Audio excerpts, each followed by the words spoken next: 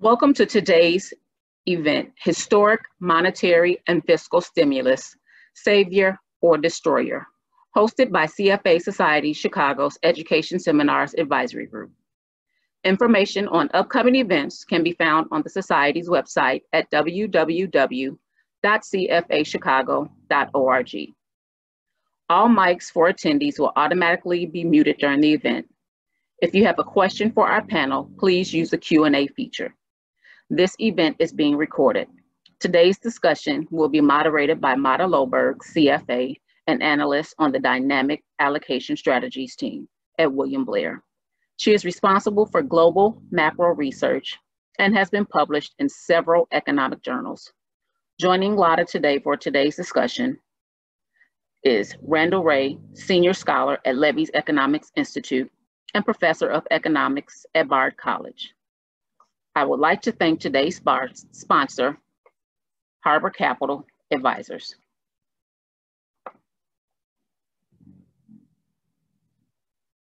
I will now turn it over to Lotta, our moderator.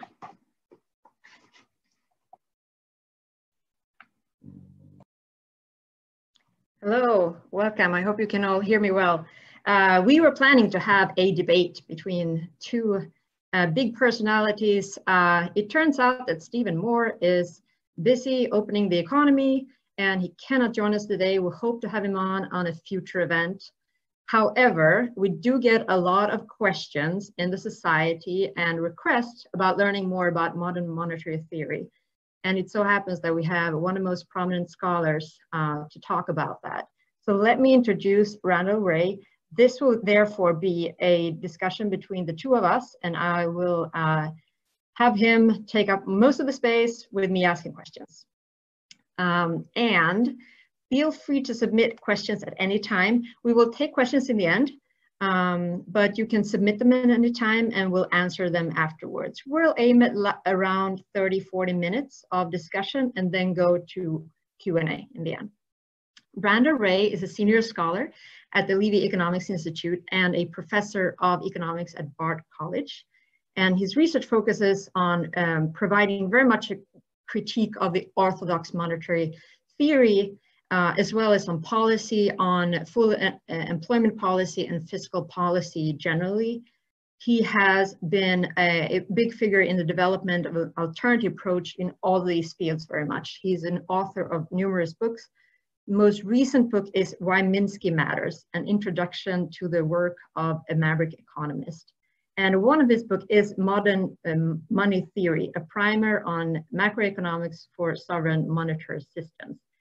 He um, therefore is, I believe, best known as a scholar of MMT. He has a BA uh, from the University of uh, Pacific and an MA and a PhD from Washington University.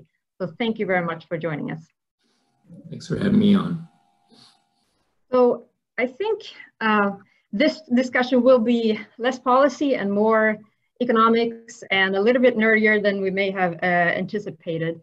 But um, maybe you can actually start by giving a little bit of an overview of um, how you from a modern from I, am going to use just MMT now from here on. I hope everybody understand knows the, the acronym by now how from an MMT perspective, uh, you look at the current situation of the economy as well as a little bit just kind of an overview so we get a, a sense of how what the approach is actually is about.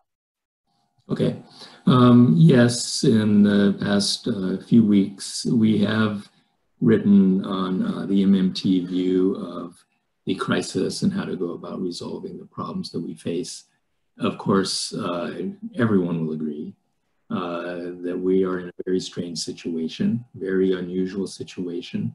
Usually uh, severe economic downturns and as well financial crises begin with something happening on the demand side. Uh, this time it is a supply side problem, a huge supply side problem. Um, so uh, then of course that creates a demand side problem. So if people can't go to work, that is a supply side problem. Uh, and then if they're, um, they don't get paid, we create a demand side problem. And I think that um, some of the policies that have uh, uh, been undertaken make a lot of sense. I think others uh, don't necessarily make too much sense. I think the, the, the first response was trying to tackle the demand side problem. I mean, the idea of mailing out checks to everybody uh, in order to get them to go out and spend to buy stuff that isn't being produced didn't make a whole lot of sense. Um, the attempts to try to support payrolls, I think, is a step in the right direction.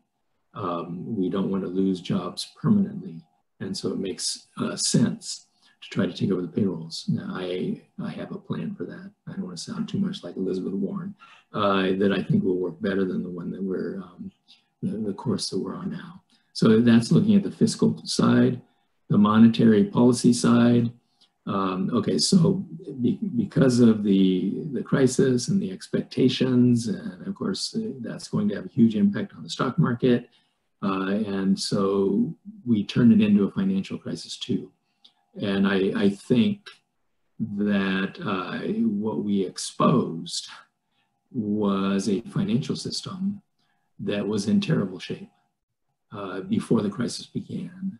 Um, I can talk more about that. Uh, and uh, I, I, would say we knew a financial crisis was coming uh, long before anyone talked about a coronavirus. Um, we were set up for a financial crisis, but this really exposed that, sparked it, and so we see that firms can't even make it through one week, one bad week, and they're already begging for bailouts. Uh, I think that tells us something about the state of the financial uh, system. So anyway, when a crisis hits, we must have a lender of last resort. And so the Fed has entered as a lender of last resort. I think it's doing a better job than it did last time around. And probably that's because lessons were learned. You got to go big. You don't auction off 100 billion at a time. You stand there and you say, whatever it takes, we are here and we're going to do it. Um, and I, expect that this one will be bigger than last one in terms of the response that will be required of the Fed. The Fed last time sort of uh, you know, meted out tiny little amounts over a period of more than two years. By the end, if you total up what the Fed did last time, it was 29 trillion. They originated 29 trillion in loans, uh, spaced out over a, a, bit more than a two-year period. Um, and so people saying this is all un, unprecedented in terms of the volume, but eventually the Fed got there. And this time we're going to get there much quicker. So that's a good thing. And expanding the safety net to municipal bonds and so on is a good thing. Uh, there are uh, other aspects that look more like QE. In my 29 trillion, I was not including QE, which came later. Uh, QE just doesn't work. And I, I, I don't believe the Fed should be doing that. Lender of last resort, yes. Quantitative easing, no. I'll, I'll stop because I know I went on a long time. So I, I, think I think uh, at this stage people may be surprised because uh, if they think MMT, you sound almost like conservative here. Um, what about what might they be getting wrong about you know expectations about you know the approaches here from the MMT perspective. You mentioned, for example, the checks not doing anything. People have been, especially that, taking that as helicopter money is here. The MMT people have won. Why is that wrong? Uh, we never advocated helicopter money. We advocate targeted spending. Um, so uh, let me back up then just a little bit. So our policy has never been helicopter money. Our policy has never been having the central bank print up money to pay for government spending. That is not MMT. We don't recommend any change in the way that uh, the Fed and the Treasury currently coordinate their spending. Uh, we already have in place all the procedures we need to spend as much as uh, uh whatever is budgeted by Congress and signed by the president. And if we boost that and continue to boost it with more stimulus packages, we don't need to change any procedures whatsoever. There's never going to be helicopters flying around. Uh, we're never going to be running a printing press. All Treasury spending always takes one form.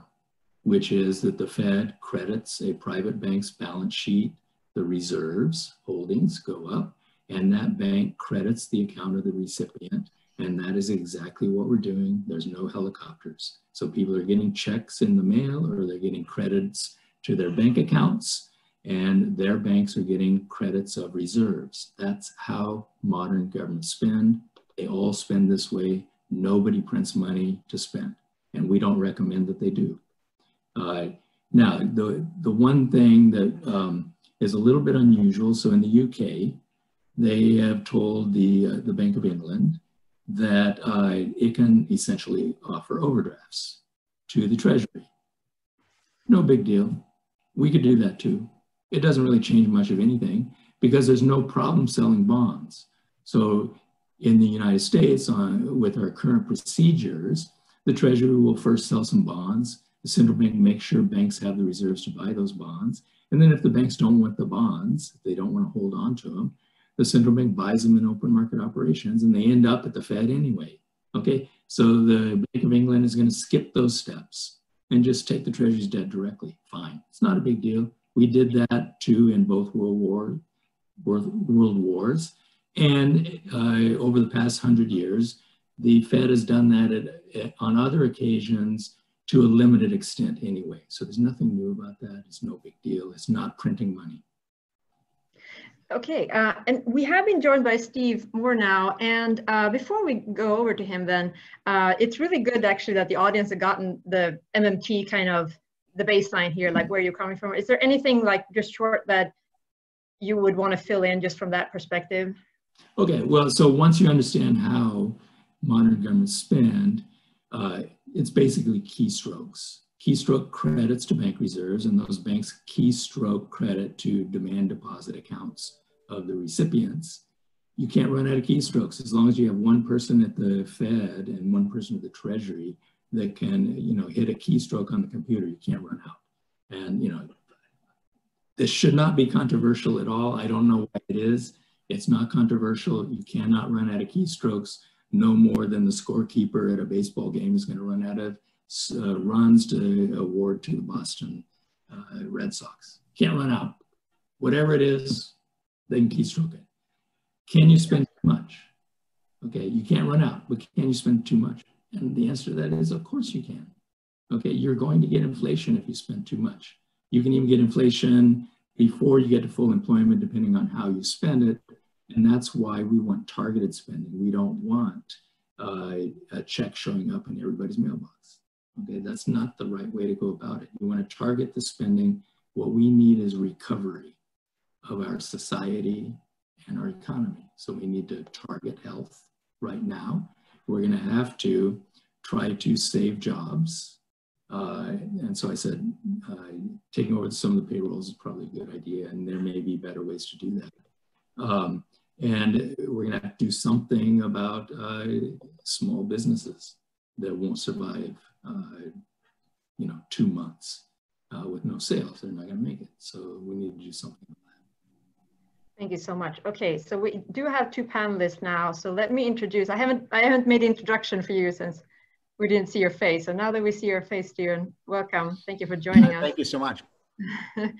so uh, Stephen Moore, um, he is a visiting uh, senior fellow in, in, economics at the Heritage Foundation. And um, he did serve uh, as a senior economic advisor to Trump's president campaign, where he worked on energy and budget issues. And right now you are on the Trump's task force to open the economy. Is that correct? I am. Very good. Um, I can mention too that uh, Stephen Moore is a news contributor. He's been uh, an analyst with CNN. He has been the senior economics writer for the Wall Street Journal editorial page and a, a member of the journal's editorial board. And he still writes for uh, the Wall Street Journal, as you, many of you will, will have seen. Uh, he has served as uh, the founder and president of the Club for Growth, and he is an author of six books. His latest book is Trumponomics, the inside story of the Trump economic boom. Um, he has, uh, he graduated from the University of Illinois, so welcome Chicago, and he has an MA in economics from George Mason University, which is also where I got most of my economic schooling. So uh, great to have you here. Um, we did get a little bit of an introduction on, from the MMT kind of perspective of where do we see the economy right now um, and policy and things like that. I'm not going to ask you to do the big picture here, but uh, maybe you can just tell us kind of what you're doing right now, what keeps you mostly busy, and what you are uh, spending most of your time on you because what you see as the most pressing issues right now. Great. Well, thank you. I'm sorry, sorry to be uh, a few minutes late. I, I am on that presidential uh, uh, task force, and we just got done with our meeting, so I was, I was uh, um, a few minutes late, but I, I appreciate your bearing with me. And so I'll just give you a quick summary of where I think things are on the economy. Obviously, this is a cataclysmic event uh, that uh, it's amazing because I did help with uh, Donald Trump in terms of the policies that we put in place in 2017 and 18. And we're mighty proud of what happened. It was created the biggest boom we've had in this country in, in probably decades. You know, it's amazing to think back in February we had seven million surplus jobs, something that's never happened before in this country. We had we finally reached, uh, according to the Federal Reserve Bank of Atlanta, uh, well over three percent growth. We were just we'd finished the trade deals with Canada, Mexico, and China, which was a big, big uh, boost to the economy it just couldn't have gone better. 50 year low in unemployment, wages rising, the most beautiful picture I ever saw.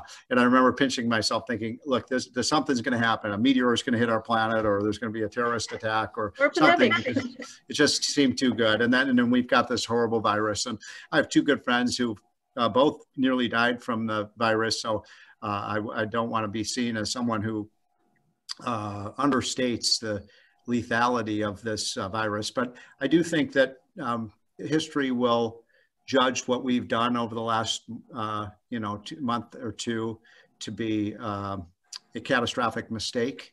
Uh, although we know a lot more about the virus we, today than we did six, eight weeks ago. Um, so we, but we are where we are. So what do we do going forward? Well, number one, we've got to get society back up and running. We, we should have done it last week, but we've got to get this uh, it doesn't matter how much money we print. It doesn't matter how many trillion dollar bills we spend. Uh, if people aren't producing, you don't have an economy. If businesses are going bankrupt, they can't come back. They're not like Lazarus. They can't be resurrected. And every day, by the tens of thousands, businesses are failing. It's, it's heartbreaking actually, because um, a lot of these folks call me up and they say, look, if I don't get revenues in the door for four or five days, I'm, I'm out of business. And that's it's just so tragic because people put their whole life and livelihoods and their life savings into building these businesses. And then to see within a matter of three weeks them to be vaporized is is really uh, terrible. And you know that we, we will probably see i think tomorrow we get the latest numbers on the unemployment. I think we'll be closing in on 30 million 30 million people have been put in the unemployment lines uh, one of the points i've made because i've been a pretty outspoken person for getting things up and running again as quickly as possible. And, you know, the left, I think, has created this false narrative that uh, if you want to open up the economy, you want to kill people. Um, and uh, look, I mean, this is, it's very simple. Uh, if we don't get things up and running, the, the human misery that we'll be creating for our society, in my opinion, will be multiple times greater than the threat of this virus. So we have to get up and running. We got to do it in a smart way. We need to um, you know, isolate the people who are at risk. This is an old person's disease, right? Uh, we know that now that 70, 75% of the people are dying from this are people of the age of 70 to 75. So we want to keep those people safe and, and uh, sequestered and, and uh, isolated so they don't get the disease. We also know, for example, chronic diseases and so on. So we know 80 to 90% of the people who are gonna, who are really susceptible to the disease, those are the people we need to keep safe. And then we also know that this is, is with any, pandemic, these are urban diseases. So the 12 or 13, if you look at a map, you can see that there are 12 or 13 uh, metropolitan areas in the United States that have been account for about 90% of the uh, deaths and cases. So you want to probably keep them shut down longer. But you know, there's over half of the counties in the United States that have either zero or very few uh, deaths and, and contamination. So we got to be smart about opening things up, obviously using social distancing and that kind of thing. And that's what the president wants to do. Uh, now, where we are in terms of uh, once we get things open, what do we do to provide a start, uh, kind of spark for the economy?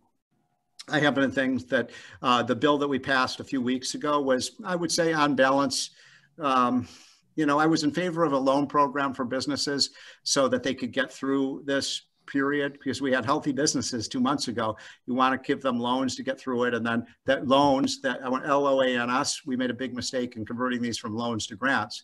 But you want to prov- provide uh, a kind of ramp so they can get through this. Uh, but I think that the uh, you know the four months of unemployment benefits can be hard to get people back to work. Uh, economics is all about incentives, and we we've incentivized people to stay uh, out of work. I just as one you know little anecdote. I have a friend who runs a construction company has 200 employees, and the day after they passed that bill, uh, in Congress, uh, uh, almost 100 of them walked off the job because they could make as much money not working as working. And so I'm not so sure this was such a great thing that we did with that $2 trillion. What I favor going forward, I certainly, I think the most disastrous thing and something I will fight with every bone in my body is a, is a blue state um, a bailout, and I know most of you there are in Chicago, but uh, there's no pot at the end of this rainbow, uh, and we're, we're going to fight like crazy to make sure that these areas don't get a bucket of money from the from Washington. It's not fair to the states that have been fiscally responsible to have to bail out New York and California and Illinois and New Jersey and Connecticut. And I don't think it's going to happen. I think we'll be able to block that, although they'll get some money for some of the health expenditures. But what I do favor, and I think the thing that would be best for the economy right now and I think we've got a lot of momentum for this, is to suspend, suspend the payroll tax for the rest of the year. So every business in America would get a 7.5% reduction in their payroll costs, and every worker in America, including minimum wage workers, would get a 7.5% raise in their salary right in their paycheck. They get it right away. No transaction costs. It's a beautiful thing. It's just, they're not, the government's not taking this money away from you anymore. So that would be good for employment, good for hiring. Um, and uh, that's kind of it. I uh, one thing on the monetary policy, and then I'll open up for discussion.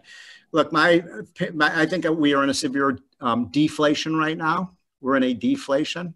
I like to, many of you know that I was uh, nominated to be on the Fed by uh, President Trump about a year ago. And uh, so uh, I, I, know a little bit about monetary policy. I, I, wasn't actually too disappointed in not being on the Fed, but I, but I think times like now, I kind of wish I were but I, I, have been critical of the Fed up until I think they've, for the most part, the Fed has been doing the right thing. What's going on right now is you've had a mass, whenever you have an, an international crisis like this, whether it's a terrorist attack, whether it's a hurricane, whether it's a, a war, whether it's uh, a, a, a virus like this, there is always a rush to buy dollars. Dollars are a rush to safety. And what we are seeing right now is the most massive uh, rush to hoard dollars, maybe in American history. And when that happens and the Fed doesn't accommodate that, you get a severe deflation. And for those of you students of history, you know that what happened in the Great Depression was it was caused by many things, trade policies and uh, the New Deal made obviously things worse. But the uh, but the big factor was the deflation in the monetary uh, base, which which uh, shrinks the economy in a rapid way. If you look at what I like to look at commodity prices. Obviously, you all know what's happened with oil in the last few days, but commodities across the board are crashing in price. We need to have more liquidity, more. A lot of my friends say, well, they've already done it. They have to do more and more and more and more of this so that we don't see a catastrophic reduction in prices. And, um, you know, they, they're going to have to continue to buy bonds, uh, assets, whatever it takes to get more dollar liquidity into the economy. Uh, but at, in the end of the day, I'll stop with this. The, the loans, the bailouts, all of these things we're spending money on, they don't make any difference if you don't have people producing goods and services and you don't have production. So it starts, a, a recovery can only begin when we have our businesses and, and, uh, and workers back on the job. Yeah, there's a lot of things that I want to follow up on, but let me just start with one thing you mentioned, which is inflation. Deflation is what you're saying we're having now. Yep. And I know that because a lot of our members who are listening now, uh, there will be in equities, there will be in fixed income. Everybody wants to know exactly that. And I'll start uh, then with, with uh, and, and I'll turn it over to, to Randall and ask, you talked about a supply shock. We're kind of leading into a demand shock. So if we know our like supply and demand curves here, we know that we shift the supply curve up, uh, we get higher prices. So that will be inflation. Uh, what's your view on inflation versus deflation in this situation? Well, there's a lot. I think we get either one. Um, I think that uh, if um, this one this one round of checks is the end of the story, then I, I agree with Steve. Uh, we could be looking at deflation. Uh, if we um, kept uh, sending more and more checks and could keep aggregate demand up, um, of course, you, there's a lot of things you cannot buy. Um, and those are relatively large parts of the consumer basket, so they have a relative weight in the basket. Um, but some of the things you can buy are rising fast in price, and those will become uh, a relatively larger part of the basket, so medical supplies and so on. Um, and if we, so if those are going up and we also add uh, more stimulus checks to the economy, I don't think inflation is completely out of the question. Uh, but we would have that in conjunction with very high unemployment and businesses closing and all that. So it would be more of a stagflation sort of a problem, not a problem of uh, excessive demand. Um, it's hard to know which one of those uh, is going to win out. I, I, don't think it's something we should, that we should be worrying about. Okay, I, I agree with Steve. We should not be worrying about inflation if this is where it's coming from.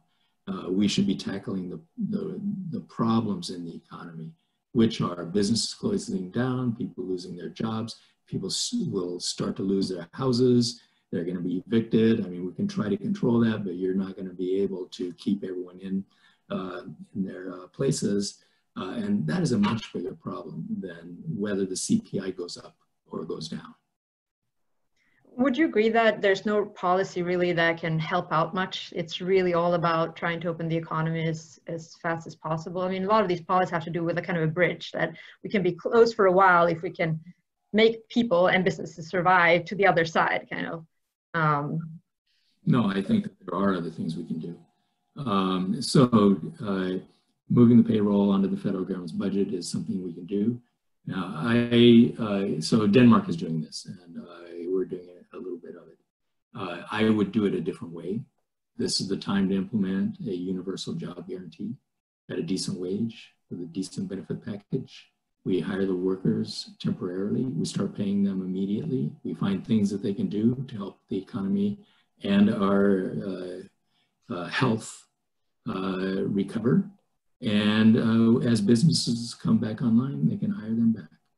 Uh, they will be a pool of employable labor uh, going to work every day, uh, showing that they are available to work, uh, retaining their skills to the, the best of our ability to get things that give them uh, tasks that um, will keep their skills uh, in use and let the firms hire them back when we get out of this. And they will hire them at the correct pace because as businesses finally open up and need employees, they will start to hire them out of the job guarantee pool. So that is what I would do for uh, labor. It provides the income and it provides us with a, um, a huge labor force to help us try to recover. Uh, as far as uh, firms go, I actually agree with Steve uh, on um, loans rather than grants. I don't like the idea of grants either. Uh, if they if they have a good business model and they can recover, let's let them service a loan. Give them good terms. You know, let them pay it back over the next five, ten years. I, I think that this is uh, perfectly fine. They're supposed to be for-profit firms, so let them uh, pay back part of their profits uh, on the loans that help uh, tide them through. Uh, it should be targeted to the smaller firms. I think one of the the bad things that has apparently been done is that uh, bigger firms that may well not need it or should not need it are the ones that are uh, soaking up mo most of the money. So we need to target it uh, small firms. So that, that's sort of an outline of the approach that I would take. I just finally, I really think we should let people who know something about health determine when the time is to go back to work. And I don't think that this uh, is the right time. From everything that I can uh, gather, uh, I'm, an, I'm a doctor of economics, not a doctor of coronavirus. And I, I think taking advice from economists on this is literally crazy. So Steve, what would you, be your view, uh, uh, the first point that, that Randy made here in terms of um, we have this interim period. Um, we can have the government being more involved in creating jobs, and those people will have jobs and then go on to the firms as they open up. Well, look, economics is really not very complicated. It's pretty it's pretty simple, really. I mean, there's two types of people in the economy. There's people who produce and there are people who don't produce. And I like to go, but to make it really simple, excuse me just a second, I like to um, make it very simple. It's, you know, you're two, two people on an island. if, if one is produced, the only way you can give money to the second one is, is to take it from the first one, right?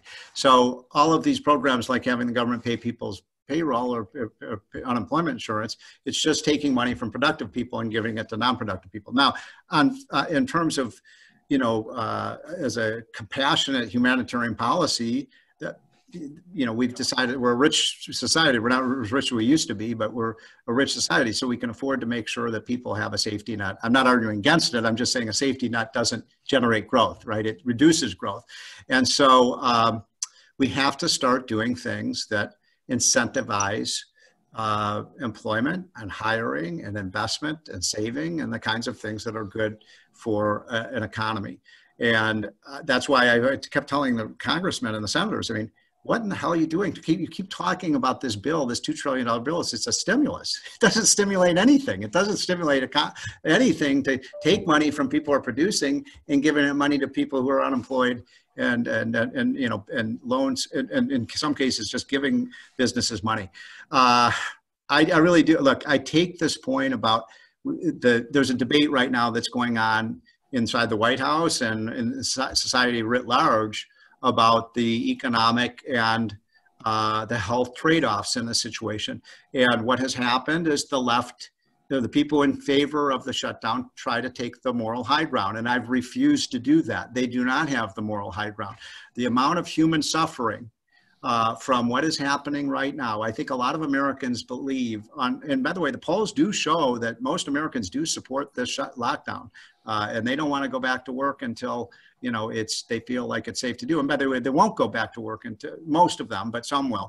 But uh, my point is that I, I know a lot, I've talked to a lot of people, I mean, family members who, who think we have to just wait until every, every uh, last death is, is, uh, is suffered from this disease. And then people th- really think that three or four weeks from now, they go out and everything's back to normal. Uh, like being in a coma and you come out of a coma. No, I want people to be very clear about it. It's not going to be normal. It's going to be a freaking disaster. I mean, we're not going to see the, when a business is dead, it's dead. We're going to see 20% un- unemployment for months and months and months. We're going to plunge tens of millions into poverty. We're going to see increase in in uh, in suicide rates. We're going to see increases in alcohol. We already are seeing this. I mean, the toll that this is taking. We're reversing 10 years of economic progress in, in three months by doing this. And every day that goes by, it's not a linear relationship. It's like the virus curve. It, it goes up and up and up and up. And so uh, we've been doing some calculations. If you can get the economy open by May 1st, we can maybe start to see some plateauing of this economic carnage by maybe, maybe the end of the summer. And hopefully the fall, we could start to see some of that V-shaped recovery. But I'm telling you this, if you keep this economy shut down past June 1, you're talking about a Great Depression. You're talking about perhaps two or three years of extreme deprivation. And the reason I refuse to let people on the other side take the moral high ground here is the people who are being destroyed, whose lives are being crushed, are the least among us, the people that Nancy Pelosi says she cares about. Those are the people whose lives have been destroyed here. They're the people who are working maybe $15, $20 an hour jobs, and now they have nothing. They've lost their paychecks. And there's those are the ones you've all seen the pictures of the people in the uh, in the, at the at the food uh, the Salvation Army food trucks. They're a mile long, and they're getting longer and longer and longer every every week. And you know, when I grew up, I was uh, the son of uh, Depression era parents, they talked all the time about the Great Depression. And I always thought, thank God we're never going to see that in our lifetime. But if we make big policy mistakes right now, and look, I hope I'm wrong. I that, nothing would make me happier than everything's great by July and we're back to normal. But I'm I'm very doubtful of that, and uh, and I, I worry too that you know if we go into the, if we go in November and, and you elect someone like Joe Biden, and then you have massive tax increases on the rich and wealth taxes and so on, it just, it just even, you know, makes the crisis uh, worse. So we have to be really smart about this. And I actually do think in the long run, the, the threat to human health and, and well-being is is uh, is much much much much worse. I mean, I'd say orders of magnitude worse if we don't get the society open quickly.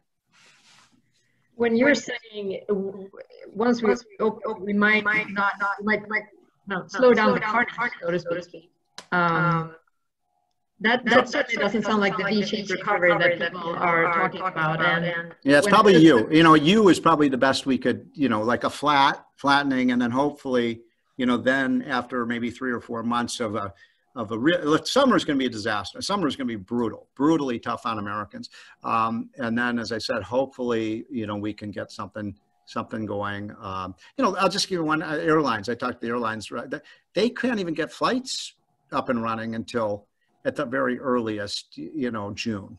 Uh, I mean, not June, I mean, September. So it's not like, oh, boom, everything's up and, you know, it's just going to take so long to get everything going again. Of course, people have suffered massive reductions in wealth and massive reductions in income. They don't have the money to go out to the restaurants. They don't have the money to, to do the things that they normally did. I mean, we're talking about a 20% uh, potential 20 to 25% reduction in every, every American's living standard. That's pretty severe.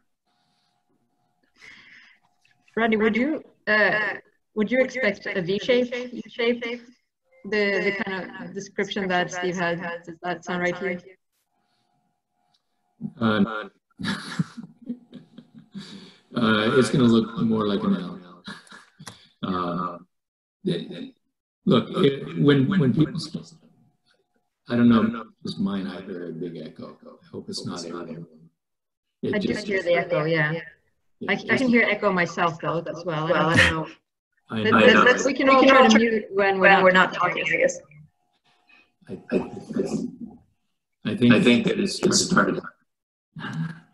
so I'm not sure where that came from. Oh, it's okay now. All right. Uh, no, I think it's going to be uh, an L, and as we um, uh, start to recover, that the bottom part will start to slope up a bit. Uh, I would say uh, we're, we're looking at a decade um, to get to get back. I mean, assuming that we're going to go about this the conventional way uh, that Steve has laid out, uh, with a, um, a, a job guarantee, as I was talking about. Uh, I mean, we immediately resolve all the problems he's talking about. We start giving people a job, give them a job that begins on Monday, and we start paying them. Now, we may not have tasks for them uh, just because of the, the health dangers. So we will gradually find tasks for them. Uh, we can pay them first. He, Steve imagines the economy as being zero sum. It is not zero sum. We do not live in a zero sum economy. This is capitalism. Uh, we have free lunches. They're all over the place. If you employ somebody who is unemployed and they produce something useful, that is a free lunch. We have massive amounts of unused resources right now today. Putting those to, to use is a free lunch. There always are free lunches in our economy. There always have been. Uh, even right before the coronavirus, when we supposedly were at full employment, there were about 10 million people who would have accepted a job if one was available. Uh, only a fraction of those are counted as officially unemployed, but people who are out of the labor force uh, have characteristics that, that uh, you cannot distinguish between them and someone who's officially unemployed. Um, they, they want jobs, they're available to work. Uh, they just may have not looked in the past two weeks or even the past year. Um, so we always have free lunches out there. And the problem is that all of this fear about government spending and government involvement in the economy is what makes us go hungry if we uh, took advantages of the free lunch, we actually could have more output. So anyway, no, I think the recovery will be very long. I think trying to get people back to work is going to cause another spike of the, um, the viral outbreak, and we're going to have to retrench again.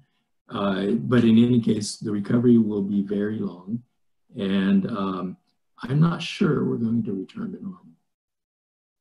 I don't, I don't think that actually is a possibility. I think we should aim for something better than what we had. As I said, I, I know Steve and the president think that we were in the greatest economy ever. That I think that uh, that has been exposed as being false. We were not. Uh, we were on the verge of a collapse anyway. And uh, we would have had another global financial crisis, and we're going to have a global financial crisis. Uh, it, this just happened to be the trigger. It would be good. Um, I'll have one more question before I turn out the Q&A then um, for both of you then uh, regarding what you said. Policies going forward, what should we expect? Um, we're having an election coming up. Um, both before the election, it feels you know, like the, the packages that we're seeing both on the fiscal and, and monetary side has been enormous. Now, you Randy laid out the case earlier why it's actually in historical perspective really not, but they seem big. Are we like in the middle of some there something there, like for the specific crisis, or is it just the beginning in terms of what you both guys would expect, and as well as going forward then with new administration, what kind of policies should we expect then that in what way might that change and on what kind, under what kind of administration I, should, I guess do. Uh, who wants to start? Well, I'll, I'll go first. Um, so look, I, I don't believe in the zero sum. Uh, you know, the, the whole point of free market capitalism is it's a positive sum game. And, and you know, that's how you increase uh, living standards over time. And it's pretty clear you know, from just looking at the evidence from history that, you know, uh, economic growth and prosperity are highly associated with uh, free markets and free enterprise. And so, you know, growth of government I view as a negative for the economy, not a positive, because the government, look, the government doesn't produce anything, right? All the government does is take money from other people who produce things and spend it, in most cases, less wisely than people could spend for it themselves. Not, not in every case, but in, in most cases.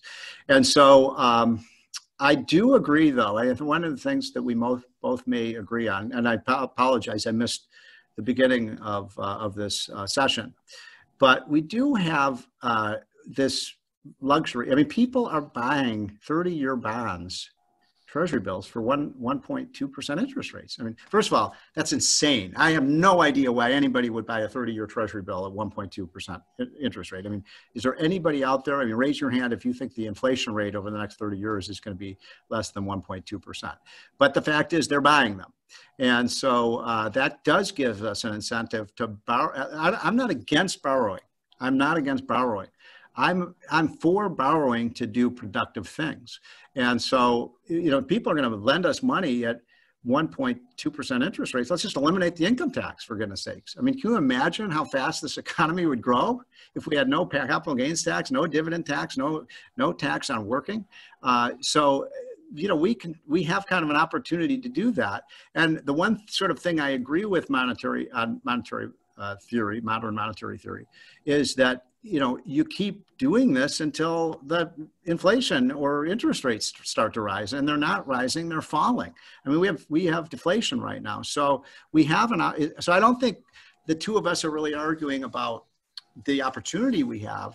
It's whether it, what matters a lot is whether you use things for productive purposes. I mean, if we did, just imagine a minute, we took the a trillion dollars and said, we're going to borrow a trillion dollars, we're going to eliminate the income tax. I mean, the economy would go through the roof. But on the other hand, what happens if we were to borrow a trillion dollars and, and build more mass transit systems? By the way, mass transit is what was the commuter of this disease, right? We know that pretty, that, the, that we should have shut down mass transit uh, many months before the disease hit. Or green energy projects and things like that, that in my opinion are mostly just a waste of money. Uh, so it matters how you spend the money and what you use it for. But I think there is, I'm not worried right now about the level of borrowing uh, because there's no sign, there's no shortage of people who want to buy our bonds. It's the most incredible thing I've ever seen. People, uh, there's a massive, massive demand for, for United States Treasury bills. Uh, the 90 day was uh, recently negative. I mean, that, that provides a great arbitrage opportunity for the government. They can actually make money on, on, uh, on borrowing. So uh, let's be smart about what we borrow for. Let's not do a new deal again. That didn't work out so well. Let's not do what Obama did. That didn't work out so well with the shovel-ready projects. We did get the L-shaped recovery. Let's do what Reagan did. I mean, we had the greatest recovery ever under Reagan with six, seven, eight percent rates of growth uh, when we cut taxes, cut regulation, and and that's what I would that's what I'm advising Donald Trump to do, and we'll see if he does it.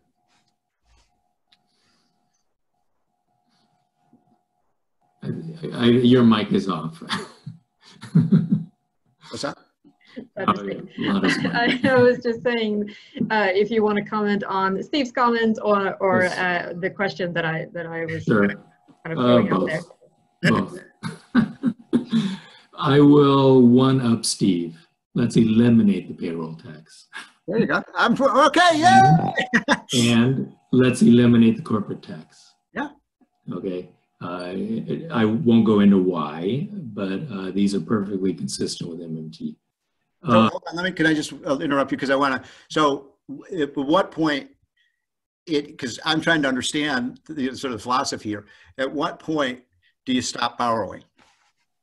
Well, fortunately, sovereign governments don't borrow. It's their own currency. You and I borrow, corporations borrow.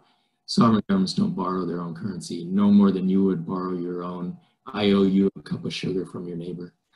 So I don't see this as borrowing at all. Yes, we can sell government bonds, and if the markets want them, sell them.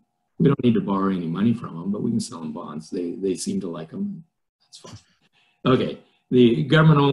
We do have to pay them back, right? I mean, there's a. There's... We never pay them back. No, no, no, no, no, no.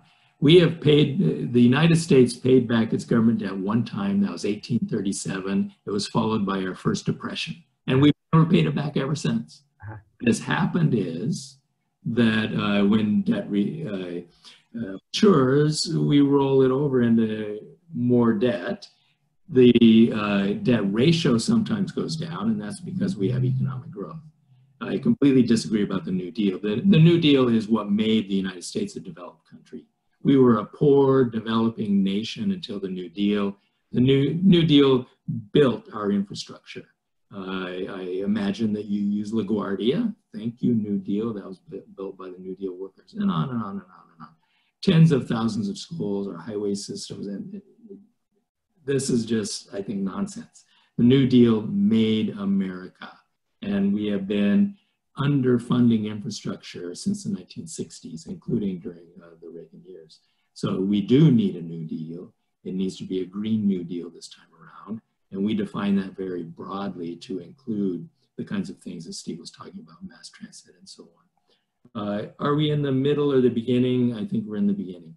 Um, I think we're going to see uh, uh, many more packages passed. Uh, and um, the, the Fed has barely begun, as I said before. Uh, we are going to reach many, many trillions of dollars of um, Fed lending at least and I also fed purchases of uh, troubled assets. So we're a long way from the middle, I, I think. Um, uh, the administration, uh, I think Trump is very much stronger than uh, the wishful thinkers think. Uh, I also think that Biden is probably weaker than his critics understand. Um, and uh, so you can guess what my prediction is for the presidential election. I think the Democrats, however, this I know this was in your previous question. I think the Democrats are going to do pretty well.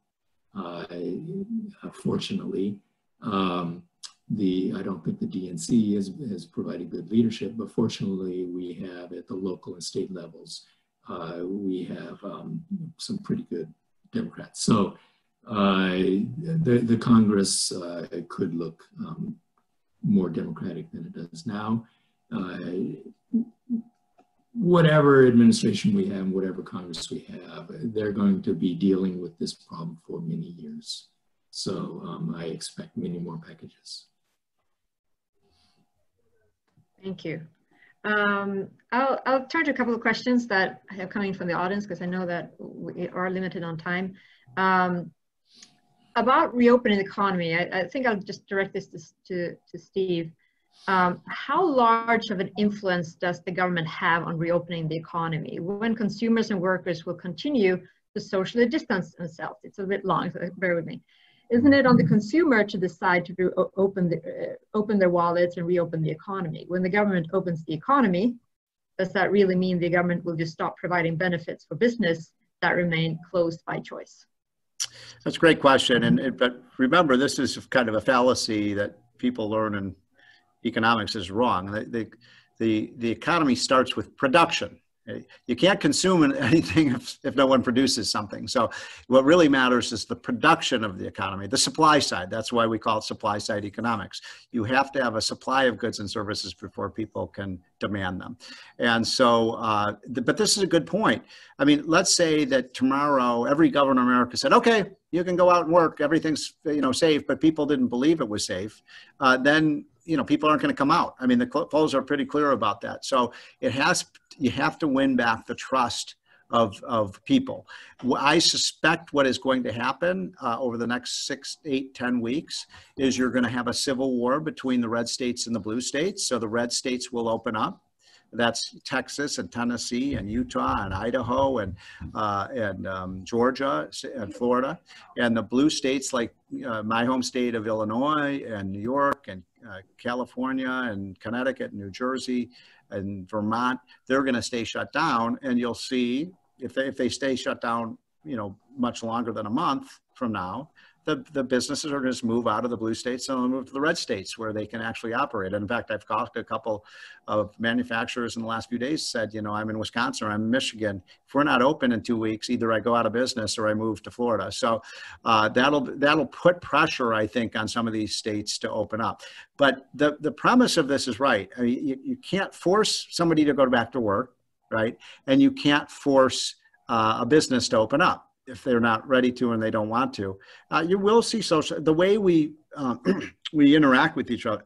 excuse me. The way we interact with each other over the next three, six months, and maybe even a year, is going to be very different from the world we lived in before. So people will so you know you're not going to be sitting next to a, uh, a, a, table of people at the restaurant there'll be there'll be tables far apart from each other and and sporting events aren't going to open up at least until 2021. Although you might say, see, for example, a golf event with no, you know, people playing golf and a television crew watching them, but there's not going to be spectators. And certainly people aren't going into sports stadiums for a long time. So th- there are going to be long um, and lasting implications for this. Uh, and I do think what starts to happen is the people who uh, who go, come out and start working and start um, getting back to normal, you, you, it'll it'll be on a rolling basis, and it could take months. Thank you. I don't know if you wanted to add anything there, Randy. I might revise my prediction if the Trump supporters. Um, I mean, I'm not uh, hoping for this, of course, but I think opening up the red states will be a big mistake. Oh, sorry, the, I didn't hear the red states. What? Opening up the red states will be a big mistake. Yeah, so it's interesting. Like even if, let's say, even even in the absence of people moving from distant states, that you took an example, what would drive the growth of the of the red states here as they open up, the um, uh, the logic that you proposed previously would suggest that this could really make or break between a V-shaped recovery or a really really long kind of recovery where you'd see the more the V-shaped and the and the red states actually open up. Um, would you, uh, Randy, say that because it's a mistake, it's actually going to set them back and it's kind of should be the opposite economic effect in the long run between the states opening up early versus late, kind of too early in your view? I think we're going to see what happened in New York City happening uh, in the middle of the country. So uh, I'll, I'll, jump to another question. This is uh, an MMT question explicitly based on modern monetary theory, uh, should our government have any hesitation to conduct healthcare infrastructure as well as physical infrastructure, road, bridges, and so on? The constraint on our government is the resource availability.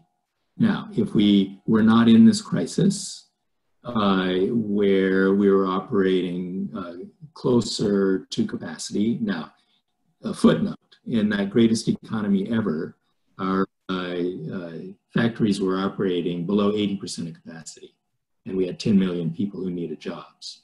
Okay, so there were there was spare capacity even then, um, uh, but if the Green New Deal was phased in, that includes the infrastructure, uh, redo the electrical grid, all that stuff, uh, that will demand resources. And it is possible that that would have exceeded the uh, amount of uh, idle resources that we can move to the Green New Deal effort.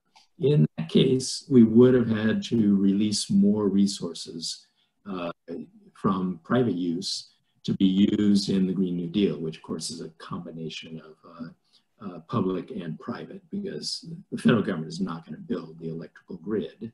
They're going to uh, provide the funding for it. So we're going to have to, we would ha have had to move resources from private sector use to that use, and that would require taxes or some other method of freeing up resources.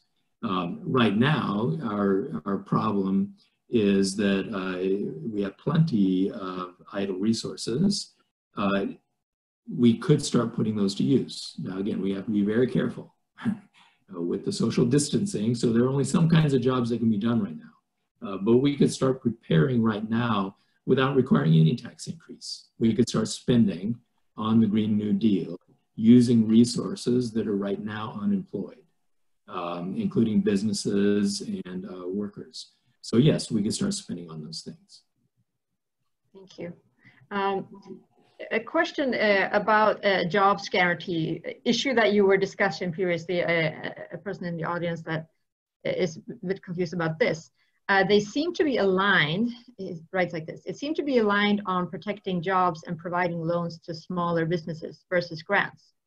Why doesn't Stephen think a job guarantee would work?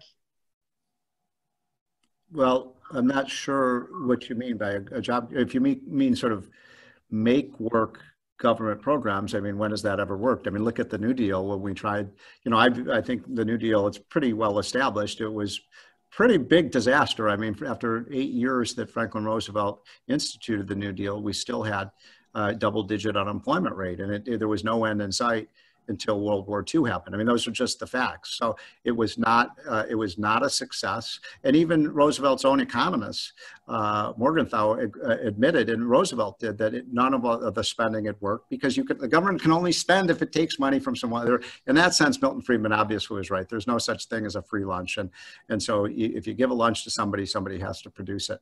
So uh, we have to work rely on the private sector. I mean, by the way, why in the world would we agree do a Green New Deal? Has anybody looked at the price of oil lately. I mean, my God, that would be the dumbest thing I could imagine. Oil is practically free now, and we, are it's a the world is awash in oil. Natural gas, which is the major form of ener energy, which is a clean burning fuel. It's it's the wonder fuel. It's it's efficient. It's cheap. It's made in America. It's abundant, and it's clean burning. I mean, why would we not use natural gas, whose costs are one tenth of what it costs? To produce electricity with solar power and wind power. I mean, the only reason, ladies and gentlemen, we even use wind and solar power, and 80% of the places it's used, is we could provide massive taxpayer subsidies for it. And even the people who produce it, they say anytime we try to take away the subsidies, oh, if you do that, we'll all go bankrupt. So this is not an efficient industry. If you want to make an economy poorer, I can't think of any way to make an economy poorer than by forcing people to use energy, which is the master resource. Everything we have is derivative of energy. If you're going to raise the price of energy, you are going to impoverish people. It's, it's, I just think, I don't even see the logic of it at a time when we are, have such abundant oil and gas. And, and uh, so we ought to do things that are efficient with government, but certainly not force feed uh, an energy source that, you know, for we've been using for 500 years. I mean, there's a reason. I wrote a book, uh, as many of you probably know, called Fueling Freedom. There's a reason we stopped using windmills uh, 300 years ago. What, what caused the Industrial Revolution was we started using efficient forms of energy that could that could provide the power for an industrial economy. I mean, does is there anybody out there who really believes we can power a 20 trillion dollar industrial economy with windmills and solar panels? I mean, really? Feel free to comment on any of that if you want, Randy. Only if you want. First, uh, the evidence is all over the country uh, that the New Deal produced useful things. I, I, I, would use the job guarantee to produce useful things wherever we can.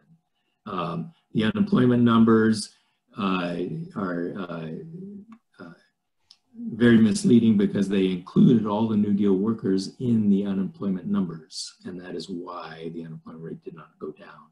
Uh, the New Deal employed 13 million people. Um, oil prices, I, I, it's just irrelevant. I mean, uh, we're, going to stop using oil uh, or uh, civilization will not survive. It's pretty simple, one or the other. Uh, so we will stop using oil. Um, everyone knows what Churchill said. Uh, Americans will do, uh, uh, will finally do the right thing after they tried everything else. And that is the right thing to do, and we will do it. And I think the markets are starting to see that. And uh, that also helps to push down the price of oil because why would you invest in oil when it is a dead end?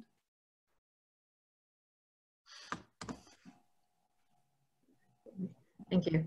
Um, I think I'll fit in maybe two questions more. Um, there's a question about inflation, um, uh, inflationary uh, and really deflation.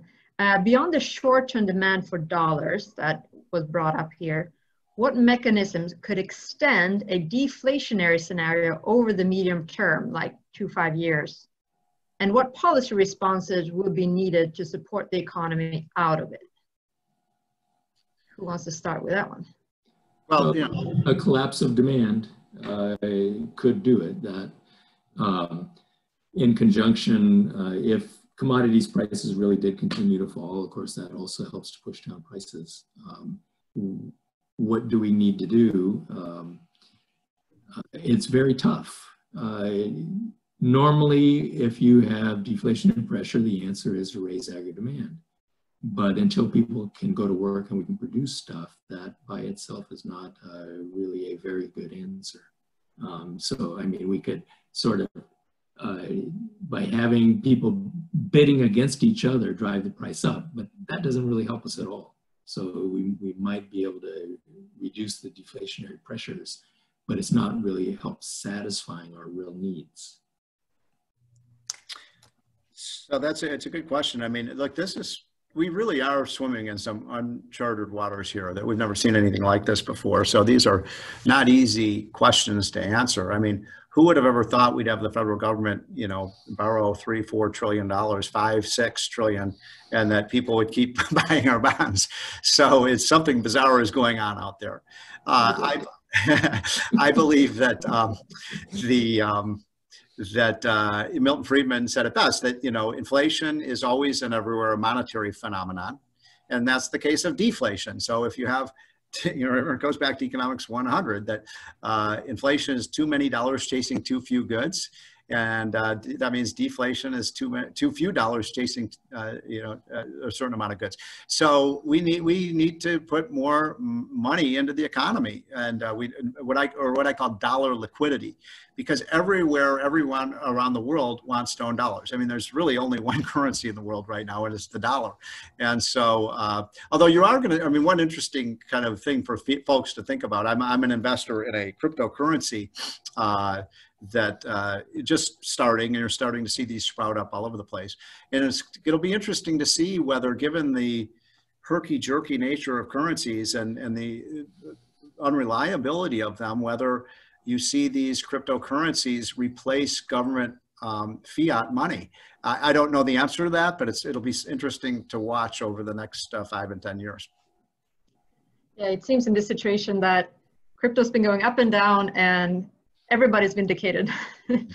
Depends on which day, you know, everybody's convinced about their position about whether crypto is going to take over the world or disappear forever. Um, I'll, I'll in a couple of more questions. Um, one, here's just one to reflect the kind of audience that you're speaking in front of here. If the Fed's actions were to cause inflation, where would we expect this to show up first? In commodities, asset prices, or wages? Feel free to pass, uh, but throw out your thoughts here. It always shows up in commodities first. And that's, you know, you look at what happened in the 70s uh, when um, you saw the big, every, everyone remembers the big spike in, in, in inflation that we had when inflation rates hit, you know, 14%. Uh, and that was uh, reflected in commodity prices. I remember the price of oil went from you know, ten dollars a barrel to thirty dollars a barrel. Uh, in in you know, actually, it was probably started at about eight dollars a barrel, went to thirty. And remember, that was a time when everybody, all the doomsdayers, you know, I, love these doomsday scenarios, like the world's going to come to an end. I mean, people probably remember the overpopulation crisis, and we're running out of oil, running out of gas, we're running out of food, we're all going to starve to death. I mean, these doomsday scenarios never come true, and that's because we as a society adjust through technology and innovation and ingenuity. And that's going to be, if, if, climate change is a crisis, it won't be dealt with. Does anybody really think the government is going to solve the problem of a changing global temperature? It's going to, it's going to be, come from private innovation. And that's what always uh, leads to improvements in living standards. And look, I, I, I'm always a, an optimist. So I do think we're going to be able to get out of this. I think it's going to take a while. I think uh, we're going to start to see things get better by the end of the summer. And hopefully in the fall, we'll start to maybe, I do agree, it's going to look like an L-shaped recovery for a while. But then I think once we start getting this behind us, uh, I think, you know, we could be in a good shape. The one thing that does worry me, and I agree with this, is if you have a second recurrence of the disease, that's bad. But hopefully, the, the, one thing to remember, first of all, we got treatments coming. So treatments will change everything because if you get the corona and you have a treatment, then then people aren't going to be deathly afraid of it. And within six to nine months, we're going to have a, a, a vaccine for this, and so we will put coronavirus, to, uh, you know, to bed just like we did, uh, you know, polio and uh, smallpox and all of these other diseases of the past monetary policy cannot get money into the economy. It can get reserves into the banking system. That's what we did with QE. Uh, we ended up getting trillions of dollars, quadrillions of yen, trillions of uh, UK pounds, and trillions of euros into the banking systems so that banks had massive excess reserves that money never gets out of the banks. Uh, there's no way the reserves can get out of the banks into the economy in order to spend and uh, reverse deflation or cause inflation, whatever you're trying to do. So it's fiscal policy that could do it. Um, the, uh, the, that's not saying the central bank shouldn't do something. I'm just saying that uh, there isn't a direct link from that to prices. However, uh, it uh, can affect asset prices. Um, so banks that have massive amounts of um, reserves uh, sort of seem to have gotten used to that and uh, they look to alternatives to normal bank lending business and um, get involved in exotic things with very high leverage ratios and then they they, they, they learn to rely on having lots and lots of liquid assets on their balance sheets, government bonds and reserves. Uh, and then uh, we get strange things like um, the repo madness uh, that uh, infects the system. Uh, so it can help push up asset prices because of the behavior of the financial system when it has lots of excess reserves. Yeah, I'll, I'll take the prerogative to just ask the last question. Um, there are a lot of policies that I don't agree with that's coming out of the administration, but I can still see the rationale on some level. Like I can see why they can might be doing this. One thing that I cannot wrap my head around is the immigration policy. Uh, we have we have a need for our uh, guest workers, and the H-2B program that lets people in was canceled. We now have the president uh, canceling the uh, green card applications, at least putting them on hold. Uh, I cannot see how this is saving the United States at this point. I'm really curious about what you you to uh, whether you agree with these policies and how to understand them if you do. Well, I'll start and then I have to, have to run because I have another call. It's been fun. By the way, I've learned a lot from this, so thank you. It's been fun. This is the last one, so you're good. Yeah. And so, um, I, look, you're not going to find anybody who's more pro legal immigration than I am. Immigrants are a great, great asset to our country, and they've helped build this country and they are the innovators. They have a great propensity to start businesses and i love businesses. Uh, so and they're the hardest working people. And in fact i've been thinking you know as i go you know, i still go to the supermarket and some of the shops that are still open, most of them are closed, or just the services that you still get. and you know, I, I just I, have been astounded by the fact that the people are actually up and running and working right now are immigrants. you know, I wonder if people still see the same thing in the, in your towns and in, in the Chicago area where uh, you know it's Eastern Europeans and it's Asians and, and Mexicans that are that are doing the work for us as the rest of Americans stay home. So yes, we need immigration. Uh, I, uh, I think it has to be legal, obviously. And with respect to the shutdown of legal immigration, uh, I, I would say that um, one of the obviously the smartest thing Donald Trump did that is you know that saved tens and tens of thousands of lives, which every liberal opposed, was shutting down travel from China.